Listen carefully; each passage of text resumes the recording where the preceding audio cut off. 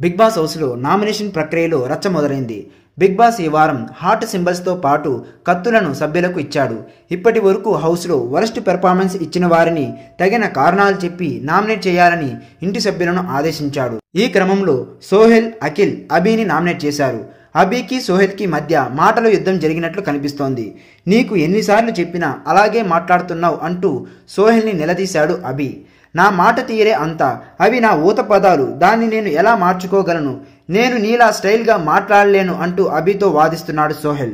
చూస్తుంటే ఈరోజు ఎపిసోడ్లో వీరి వాదనలు తారాస్థాయికి చేరినట్టు కనిపిస్తోంది.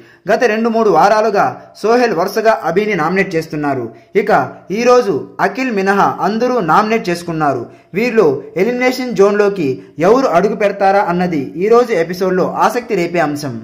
ఈ వీడియో మీకు నచ్చినట్లయితే లైక్ చేయండి షేర్ చేయండి కామెంట్ చేయండి. మరిన్ని అప్డేట్స్ కోసం మన ఛానల్ని సబ్స్క్రైబ్ చేయండి. నోటిఫికేషన్ కోసం పక్కనే ఉన్న గంట సింబల్పై క్లిక్ చేయండి.